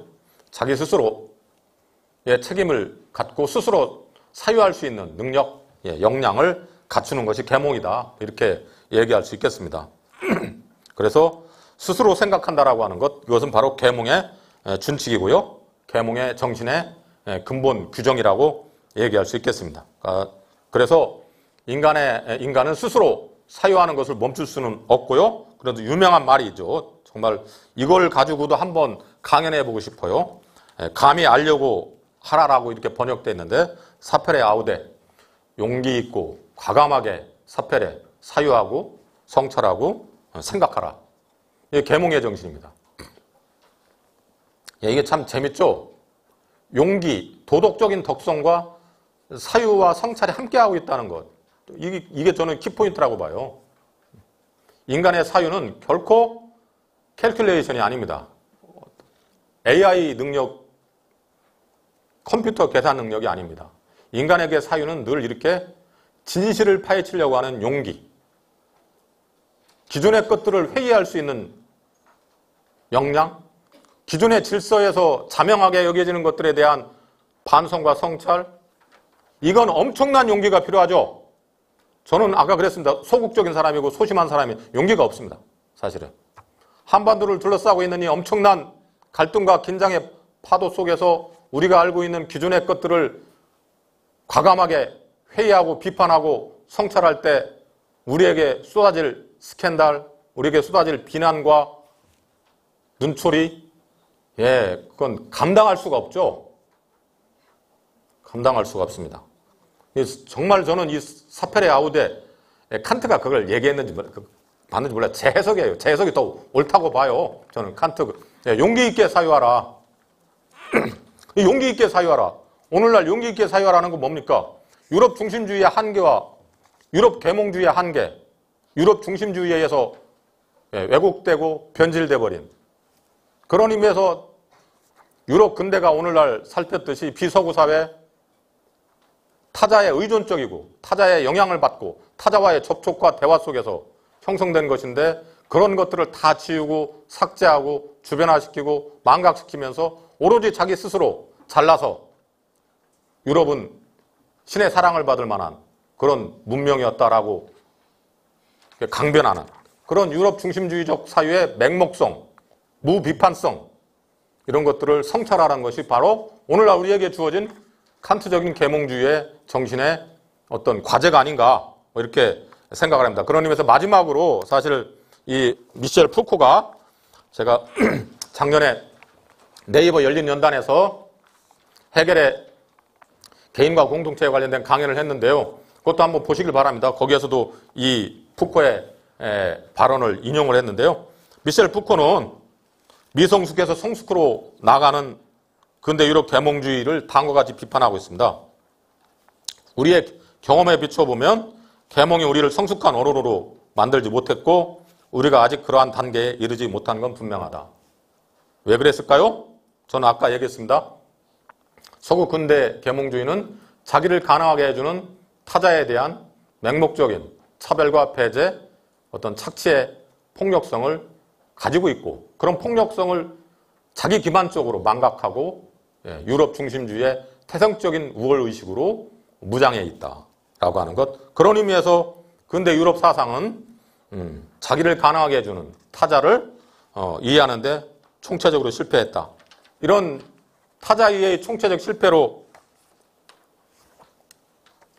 운명 지어진 유럽 서구 근대 계몽주의, 유럽 근대성의 최종 판결은 바로 예, 모든 생명체를 몰살시키는 그런 의미에서 허무주의의 완성이라고 할 수 있는 예, 생태위기로 나아가고 있다. 그래서 우리는 오늘날 힘차게 그런 어떤 서구 계몽의 정신을 온전하게 이어받기 위해서라도 그런 유럽 중심주의 맹목성, 무비판성과 치열한 어떤 대결 정신을 가져야 되지 않을까? 거기에는 엄청난 용기가 필요하지 않을까? 아, 그런 생각을 하면서 오늘 강연을 마치도록 하겠습니다. 감사합니다. 그러니까 동양은 인자, 인, 동양 인, 인 알죠? 공자의 인사상, 인자, 그 다음에 지자, 아는 사람, 그 다음에 용자를 같은 걸로 본것 같더라고요. 지인용? 예, 예. 감사합니다. 근데 너무 어려운 질문인데, 하여간, 아까 박병 선생님 말씀하셨듯이 능력주의와 관료주의 문제, 이 책에서도 사실 이제 잃어버린 근대성이라고 하는 알렉산더 우드사이드의 그 Lost Modernities라고 하는 걸 소개하면서 관료주의적인 제도의 형성이 합리성으로 대표되는 근대성, 그리고 유럽 중심적 근대성 이론을 벗어날 수 있는 그런 중요한 어떤 주제다라고 하는 것을 강조를 했는데, 그러니까 그 부분은 조금 이제 논외로 하고요. 제가 인이라고 하는 것은 쉽게 얘기하면 제 생각입니다. 이건 뭐, 어, 이 책에서도 나오지만, 인은 그냥 그 생명에 대한 존중, 존중이에요. 그러니까 인이라고 하는 걸 뭐 맹자실에게 뭐 너무 뭐 측은지심 아닙니까? 근데 차마 측은지심을 뭐 다른 말로 하면 뭐 불인인지심이라고도 하는데 차마 해치지 못하는 마음이라고 번역을 합니다. 차마 해치지 못하는 마음. 차마 해치지 못하는 마음이라고 하는 게 뭘까요? 생명과 인간을 함부로 죽이지 말라, 잔인하게 대하지 말라라고 하는 것이죠. 부정적으로 얘기하면. 예.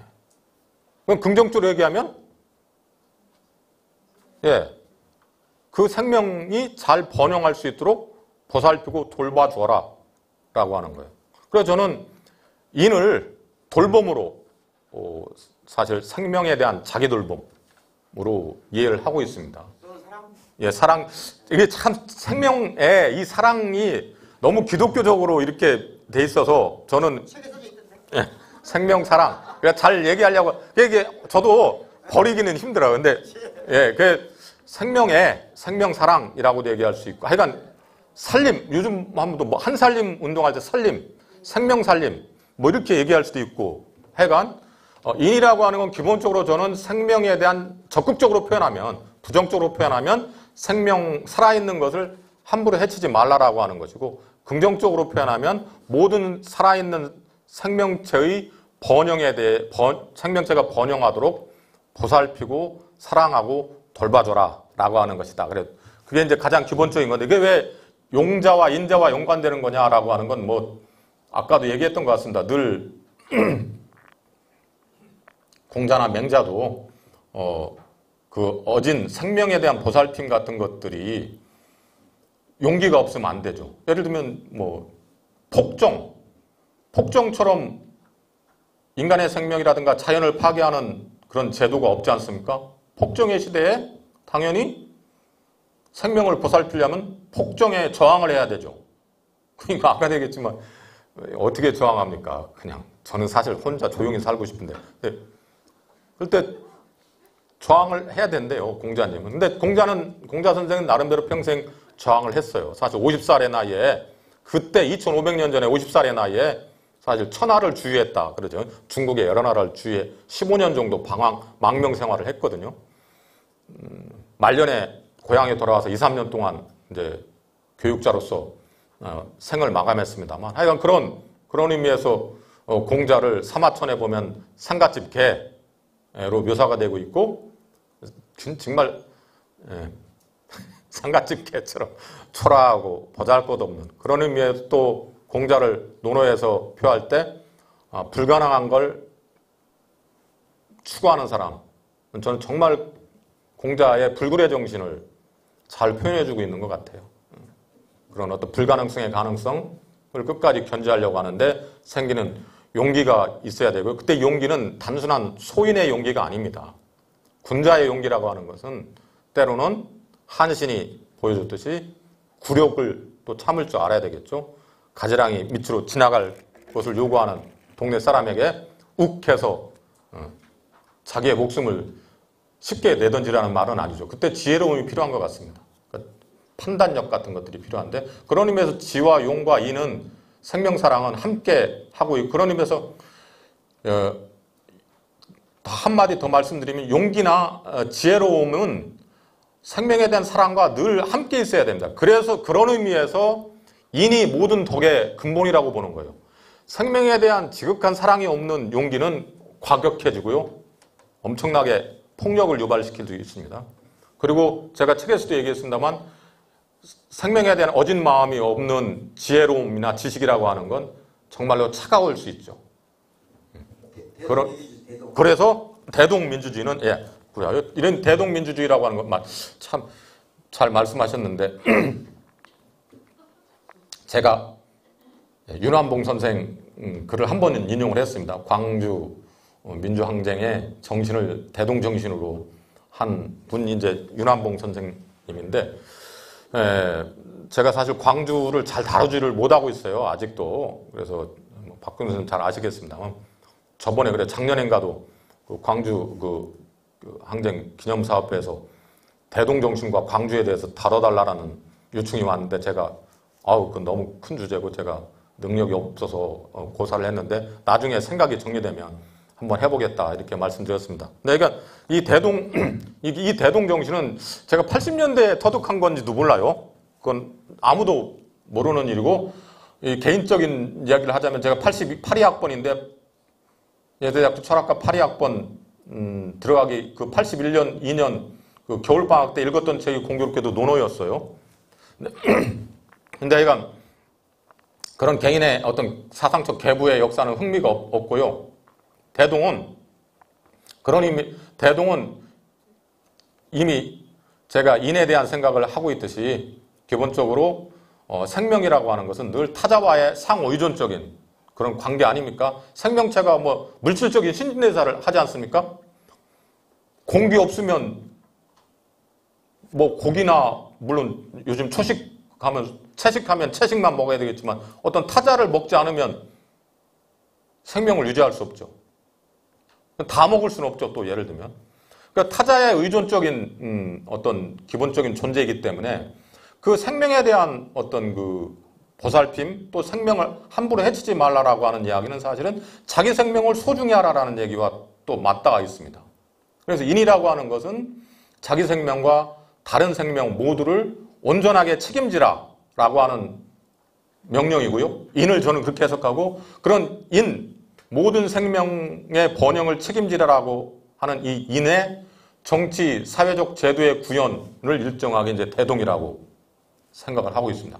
다양한 다양성이 일단 존중돼야 되고 어떤 상호 의존적인 존재이기 때문에 기본적인 평등 같은 것들을 긍정해야 되고 기타 등등 그런 의미의 어떤 대동의 사상에 대한 어떤 구체적인 설명은 제 책이나 논문을 통해서 보면 알 것이고요. 다만 오늘 오늘날 제가 어, 강조 그 대동의 정신은 물론 싹이 공자나 성리학에 분명히 들어 있듯이 그 싹이 대동의 세계는 이제는 전 우주에 대한 생명과의 공존 여타 인간 이외 여타 생명과의 공존으로 나가야 된다. 그런 의미에서 제가 그 자율성 아까 얘기했습니다. 자율성을 생명과 보살핌 속의 자율성으로 변형시켜야 된다. 왜?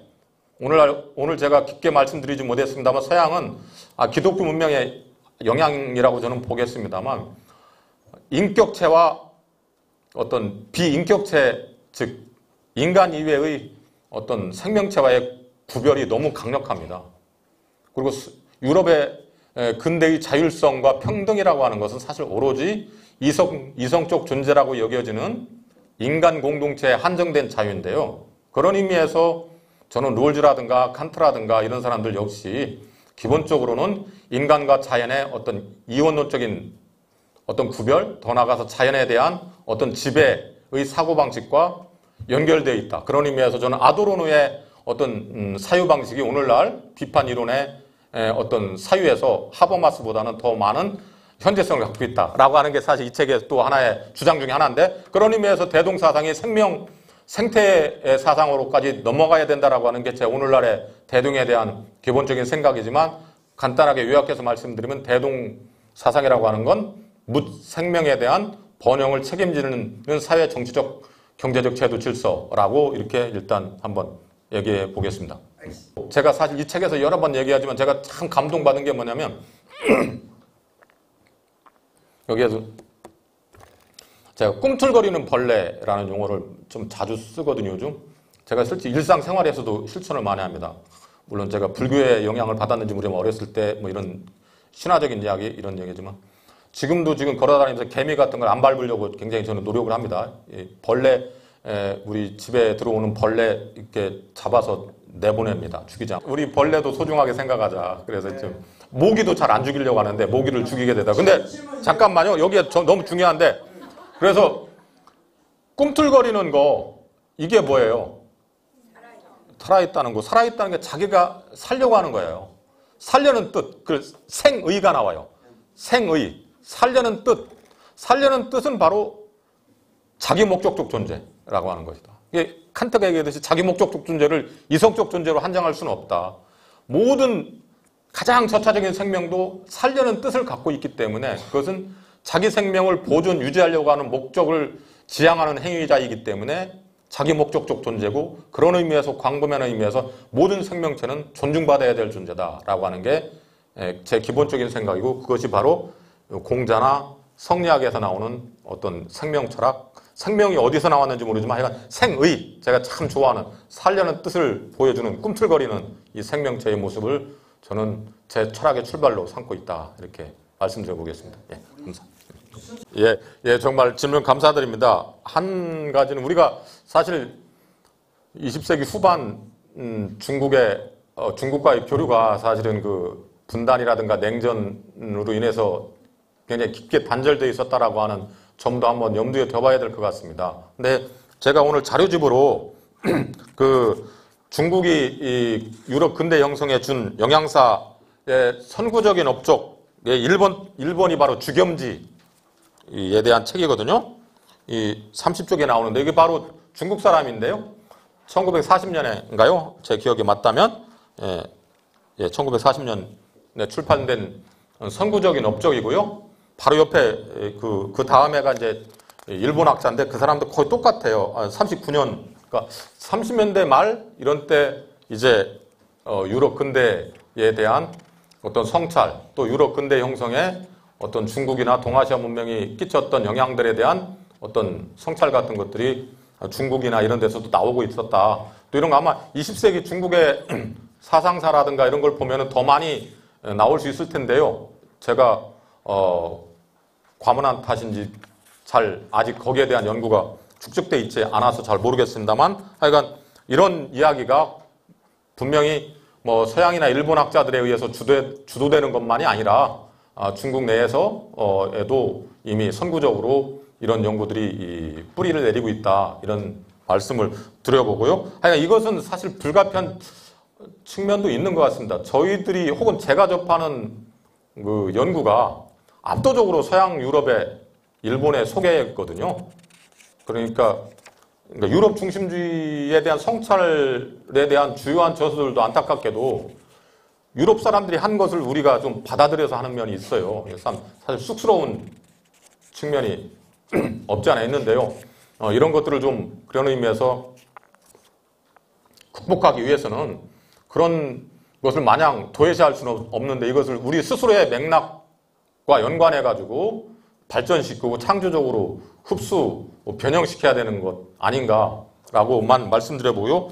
두 번째로는 한국 예 저는 예, 예 한국의 역사가 음, 저는 어, 여러 가지 아픈 지점 여전히 많은 어떤 한계 정말 눈 뜨고 볼 수 없는 그런 많은 한계들을 어, 보여주고 있음에도 불구하고 어, 저는 공자의 어진 마음을 실천하기 위해서 저는 따뜻한 시선으로 한국 역사를 봐야 된다고 봅니다. 저는 어, 5, 6년 전에 나온 그, 그 대동민주유학에 관련된 책 어, 머리글에서 얘기했듯이 저는 서양의 비판 이론이라든가 이성 중심적 비판 이론이 각 이게 제대로 받는, 받는지는 모르겠습니다. 제가 볼 때는 좀 차갑지 않나.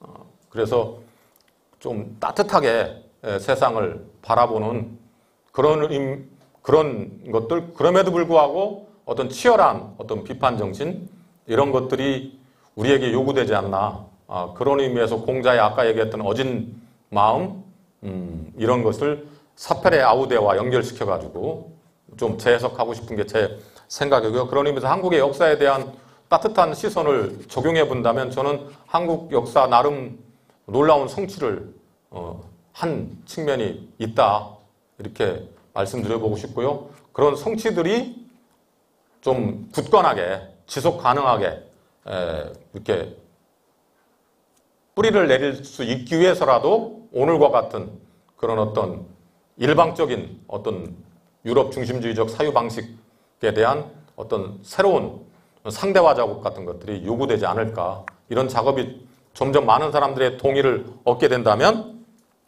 한국의 역사가 조금 더 어, 좀 나은 상황으로 나가지 않을까라고 하는 그런 생각을 저도 분명히 하고 있습니다. 예. 예, 좋은 질문이고요. 정말 쟁점이 되는 질문이라고 보고요. 또 역시 미중의 패권 갈등이 본격화되고 있는 과정에서 한국 사회가 나가야 될 선택의 문제와도 관련된 아주 예리하고 첨예한 어떤 논쟁적인 질문과 있어서 제가 쉽게 답하기가 어렵습니다. 에, 그리고 제가 무슨 시사 논평가도 아니고 솔직하게 에, 그러니 미중 갈등의 문제와 관련된 이런 것들은 제가 말씀드려보고 싶지는 않고요. 다만 음, 중화주의, 중화주의 역시 어떻게 보면 동아시아적인 중국 우월주의, 중국 중심주의의 한 표현이면 분명한 사실이죠. 어, 제가 그걸 거부한, 부인하는 건 아니고요. 다만 우리가 어, 고민해 봐야 될 것은 유럽 중심주의나 미국이나 어떤 유럽 근대를 주도했던 소위 임마누엘 월러스틴에 의하면 어, 유럽 근대가 형성한 자본주의 세계 체제를 헤게모니로서 주도한 나라는 네덜란드, 영국, 그다음 미국 이런 정도인데 어, 이런 나라들이 보여주고 있는 어떤 행위 패턴과 중국의 행위 패턴이 과연 동일한 것인가? 이건 굉장히 흥미있는 지점이죠. 이게 저는 음, 우리가 정말 깊이 깊이 있게 한번 성찰해 봐야 될 주제라고 생각을 하는데요. 거듭 말씀드리지만 제가 보면 문명사가나 어떤 무슨 시사 전문가나 중국 역사의 전문가가 아니고 다만 저는 어떤 사상 연구자로서 그래서 이 이 책 마지막 부분에 바로 어, 그런 대동민주주의라고 하는 사상이 지향하는 바 모든 중심주의에 대한 거부. 음, 그러면서 아, 우리의 한국의 역사에 털을 둔 새로운 보편 가능화 보편화 될 수 있는 어떤 새로운 정치 사회 질서 새로운 그것들을 가능하게 해주는 사상의 원리로서의 대동 사상에 대한 어떤 그 개괄적인 이야기가 있습니다. 그런 의미에서 이 대동 민주주의 사상은 바로 그런 중국의 부상에 대한 한국 사회의 대응을 준비하기 위한 사상적 고찰의 어떤 한 일환이라고 봐주시면 감사하겠습니다. 예. 너무 어려운 질문입니다. 어제 듣는 건 처음 봤죠? 아, 글쎄, 뭐, 모르겠어요. 저 여기 와서 박고영 선생님 강연할 때는 더 뜨거웠을 것 같고, 뭐, 많은 사람들이 박수도 더 많이 쳐줬을 것 같은 그런 어떤 생각이 드는데, 박수 한번 쳐주십시오. 예. 감사합니다. 예. 보니까 엄청 말씀 잘하시는데 오늘 쫄았어요. 어, 저. 유튜브 때문에 그래요, 유튜브 때문에. 보니까. 예, 사실 유튜브만 없으면 조금 더, 그러니까. 예, 예, 자유롭게, 예, 말씀드릴 수 있을 텐데, 아무래도, 제가 예. 그책 많이 읽어봤는데 저는 동양철 모르거든요. 그래도 읽기 참 좋게 돼 있어요. 그래서 어, 지금 말한 주제에 대해서 그 내용은 간단한 것 같지만 정글을 쭉 읽은 거거든요. 한 번씩 관심 있으면 그 표지가 마음에 안 든다. 색깔이. 예, 미학적으로 보면 뭐 그런, 뭐지 영상 영상하기 어려워. 색깔이지만 내용은 그렇잖아요. 네. 아, 제목 알려드릴게요. 대동 민주주의와 21세기 유가적 비판 이론의 모석, 모색, 나종석. 사실은 오늘 이야기는 이 책을 읽기 위해서 필요한 사전 지식. 그래서 한마디로 말하면 그럴 것 같아요. 서구 중심주의의 상대와 예, 그렇습니다. 예, 모든 중심주의에 대한 비판. 예, 맞죠? 예, 예, 예. 그래서 모두가 함께 가는 대동세상. 그렇습니다. 예. 네, 모두가, 이때 모두에는 생명도 포함한다. 생명도 포함해서 심지어 어, 생명 아닌 것조차도 예, 포함하는 그런 사유로 가자. 나종훈 선생님과 함께 언젠가 신자유대학에서 대동 세상에 대해서 다시 깊이 있게 들어볼 수 있는 기회를 예약하면서 오늘 강의를 마치겠습니다. 뜨거운 박수 부탁드립니다. 예, 예, 감사합니다.